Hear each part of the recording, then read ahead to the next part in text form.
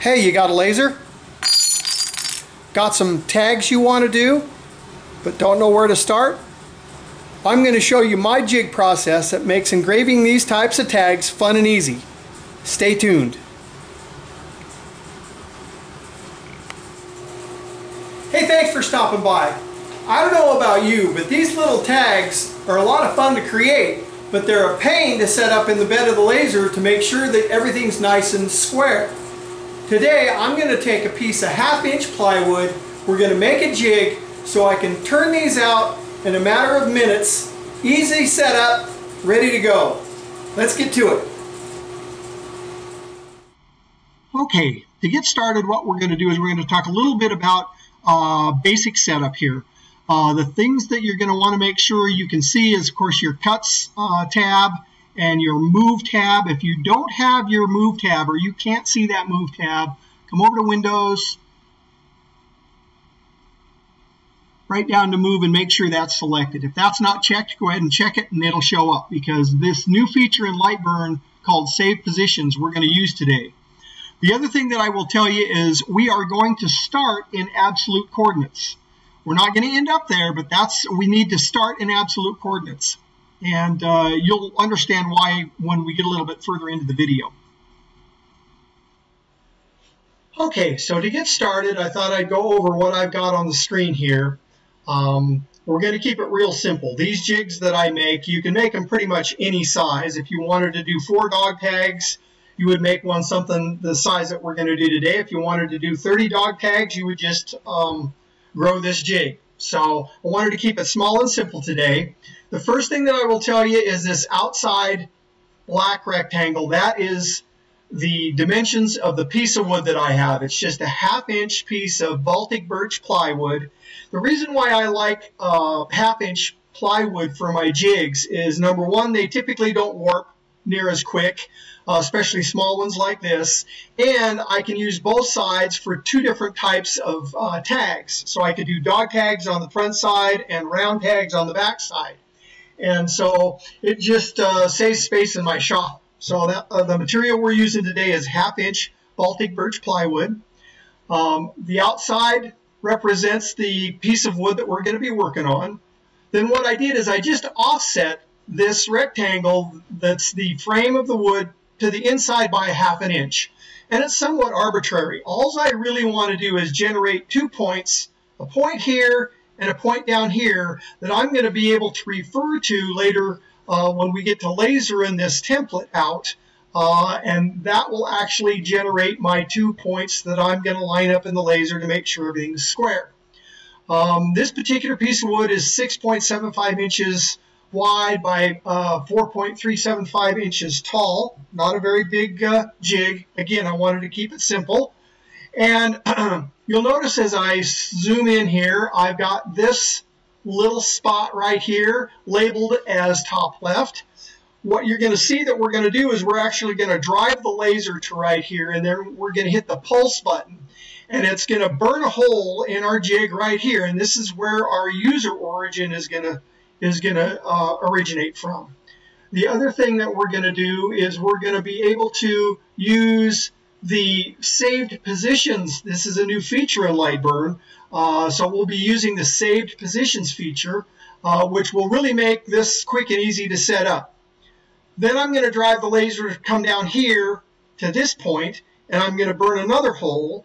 And these two points, this point here and this point here, I'm actually going to save uh, in save positions. So eventually when I'm all done and I lift this template out of the laser bed and I put it away and then two weeks later I need some more tags.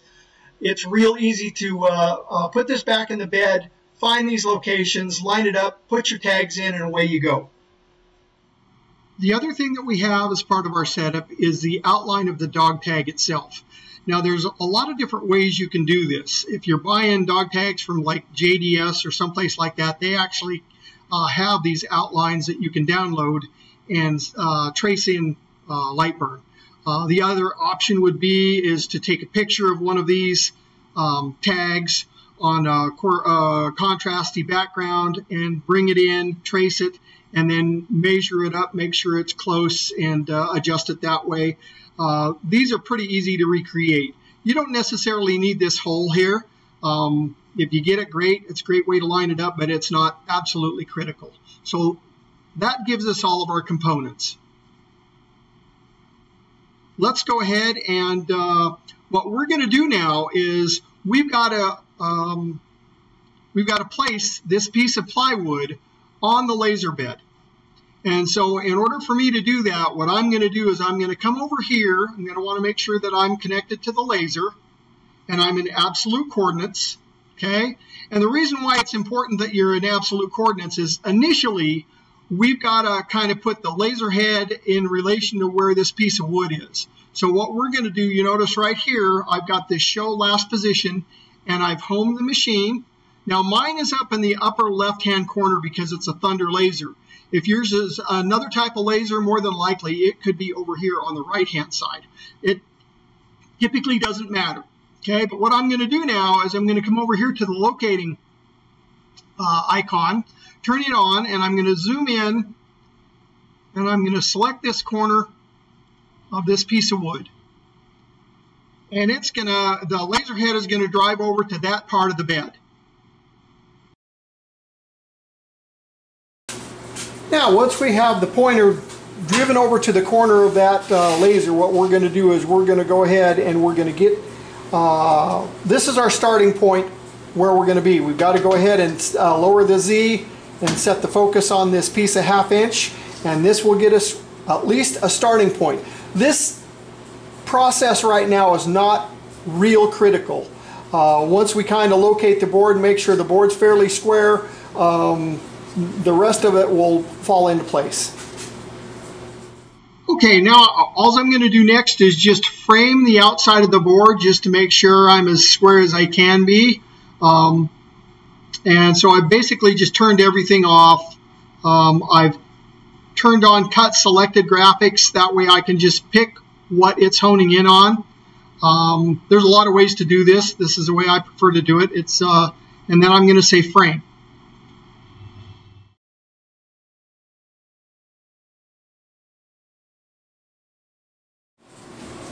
Okay, now that I got my uh, frame all squared up, I uh, just put a, a, little jig together here just so if I pick this up and put it back, I know right where it goes. It's just to ensure that um, as I'm putting this jig together, my placement doesn't move. Um, the other thing that I'll tell you is the reason why I don't use a user origin on the corner of this uh, piece of wood is it's too subjective. It's really hard, even though that the laser dot's pretty fine on this, it's really hard to tell kind of when you got it exactly where you need it. So what I'm going to do is I'm going to burn a hole here and I'm going to burn a hole here and those are going to be my two uh, points that I'm going to use to line this jig up. And you're going to see once we get this jig made, it's pretty quick to get it lined up and get going. Okay, now that I've got my jig all lined up and it's square, we've framed this, we know that uh, this piece of wood is sitting in the laser bed in relation to what we're looking at here. And so the next thing I'm going to do is I'm going to take my locator bubble here and I'm going to drive the laser head to this spot right here. So the laser head has gone there. I'm going to go ahead and hit the pulse button on the... Uh... Okay, now that I've got the laser head driven over to this uh, position here, I'm going to save that position so I can go back to it later. And this is going to be one of our user origins that we'll be able to use uh, when we want to set this jig up later. So I'm going to go over to the Manage tool, and I'm going to say Add New, and we're going to come up here to Name and say this is top left. and hit OK. Now, this position right here has been recorded. I can recall it at any time. Now I'm going to go ahead and drive the laser over to the next point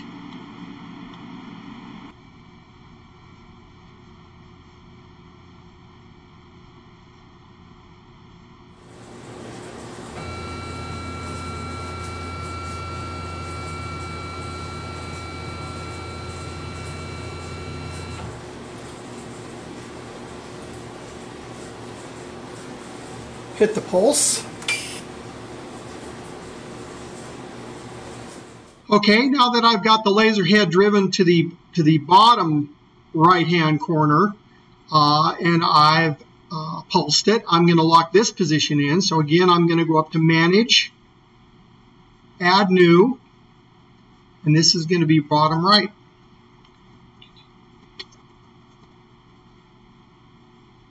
Okay. And now both of these positions are saved. Matter of fact, if you wanted to double check, you could go ahead and take and select top left. Your laser head should come from here and go back to this hole that you just burned in your wood. And if you wanted to return, come back to bottom right. Now your laser head is going to go from here back down across here. And these holes the nice thing about this little bitty hole that you just perforated in this half inch piece of plywood is it's real easy to line up because it almost disappears. That red dot almost disappears uh, away from your the top of your surface of your jig. Okay, I think we're ready to go ahead and uh, burn out these templates for these dog tags and uh, label this top left, bottom right. I've turned off uh, the text that I don't need and the frames that I don't need. The only thing that we're going to engrave is uh, the material out of the dog tag area and then just some labels and some little circles to indicate where the hole should be. Uh, it's always a good idea to go ahead and preview this just to make sure what you see is what you get. And it looks like everything's great. We've got a fill on the blue, which is a dog tags, and an engrave on the um, purple color. So we'll go ahead and get these uh, going.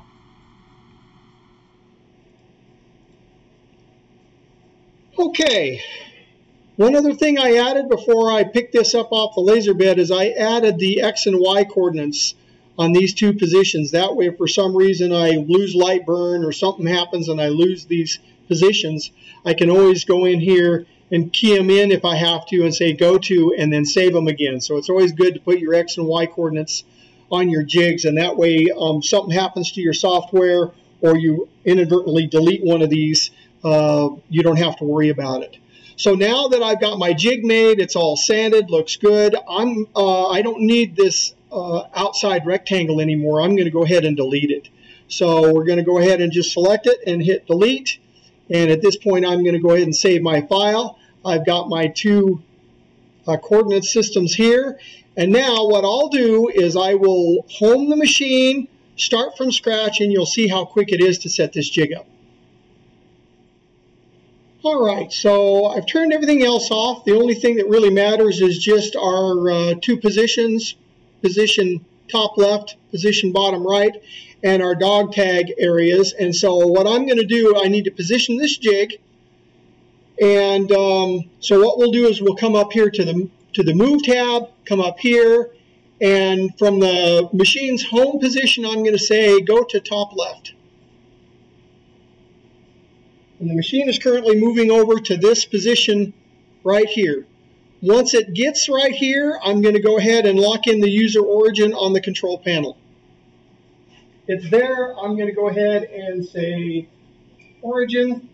And now we'll place the, uh, the jig in the bed of the laser.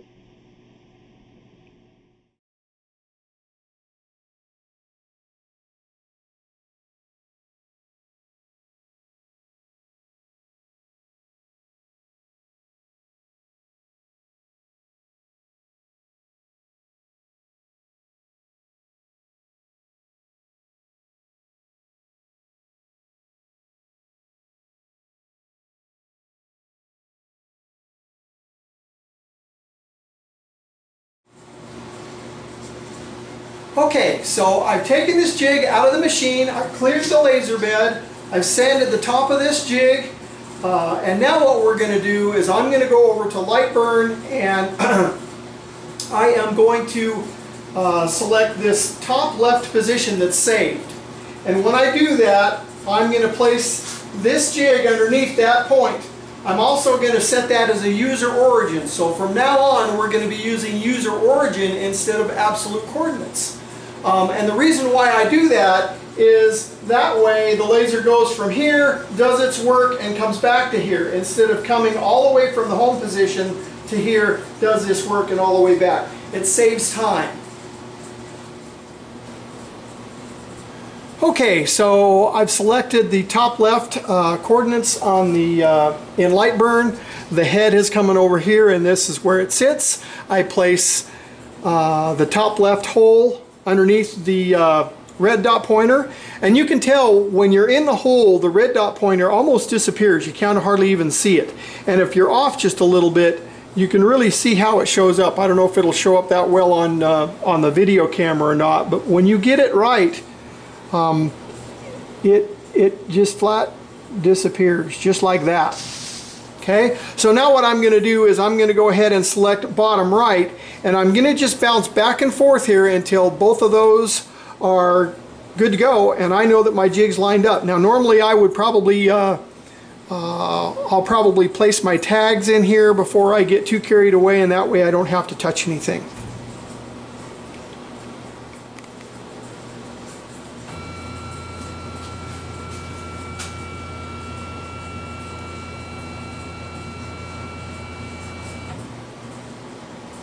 Trickiest part of this whole process is um, this right here. You notice that I wasn't very square. So now I'll start there, go back to the top left.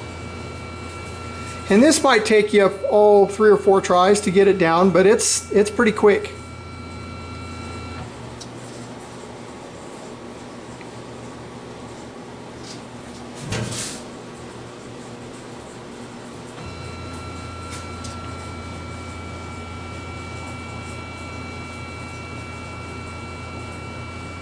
Boom, there we go. Now she's all set up. That probably took me 15, 20 seconds, and if I, if I wasn't videoing it, it'd be even faster. Now if I want to double check to make sure that I'm good to go, I can uh, frame the dog tag that I'm going to print out just to be sure.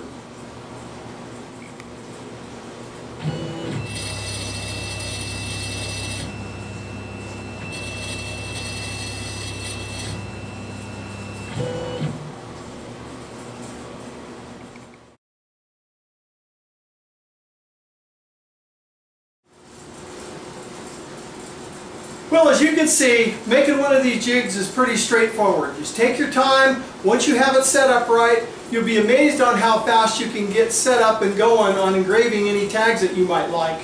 I hope this was helpful, and as always, like and subscribe. Have a great day.